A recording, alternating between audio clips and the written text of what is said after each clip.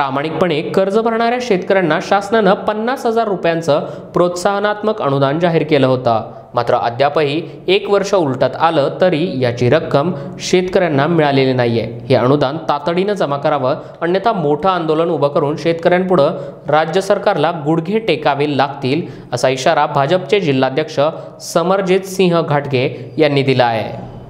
ते कागल तालुक्यामधील कसबा सांगावं येथे शिवार संवाद यात्रेमध्ये बोलत होते. पुढे घाटगे म्हणाले ऊर्जामंत्री राऊत यांनी यंदाची दिवाळी गोड करा असं आश्वासन दिलं. मात्र यंदाची दिवाळी गोड झालीच नाही. पुढच्या दिवाळीची वाट पाहत आहे का? असा सवाल घाटगे यांनी करत महावितरण वीज बिलांची वसुली थांबवावी अन्यथा राज्यभरामध्ये उद्रेक होईल असा इशारा दिला आहे अशा पद्धतीचा हा उद्रेक एकूण असू शकतो आणि याची सुरुवात कोल्हापूरमधून होईल का? नाही शंभर टक्के खरं म्हटलं तर कर्जमाफीच्या जास्त काठीवर आणि पन्नास अनुदान एक लाख अनुदानची मागणी पहिलं कोल्हापूर जिल्ह्याने केली.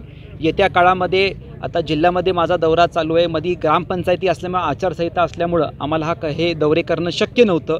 आता परत आम्ही दौरे सुरू केलेले आहेत. पुढे माझं करवीर चंदगड या ठिकाणी पण आता लोकांना भेटणं सुरू होणार आहे. कागलमध्ये पण अजून दोन तीन ठिकाणी कार्यक्रम आपण करणार आहे. आणि त्यानंतर एक संघटित करून एक येत्या काळामध्ये आंदोलनाची दिशा आपल्याला उभा करावीच लागणार. मार्चला महाविकास आघाडी सरकारांनी पन्नास हजार रुपये अनुदान जाहीर केलं. आता सहा मार्च व्हायला एक एक सव्वा महिना राहिला आहे पण अजूनही अनुदानाबद्दल कुठला पत्ता नाही. आता परत एकतीस मार्च येणार. मग परत जुनं नवीन करायला लागणार लोकांना.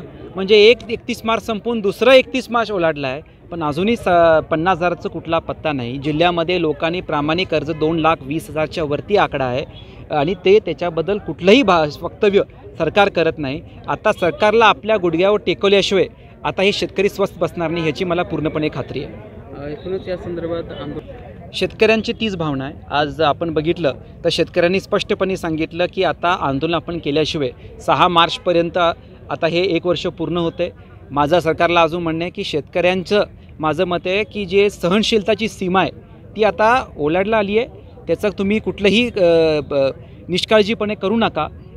तातडीने पन्नास हजार रुपये अनुदान आणि जे वीज बिलावर रिकव्हरी सुरू झाली आहे ही बंद व्हायला पाहिजे. नाहीतर फार मोठा उद्रेक हा शेतकऱ्यांचा सरकारला सामोरे जावं लागेल.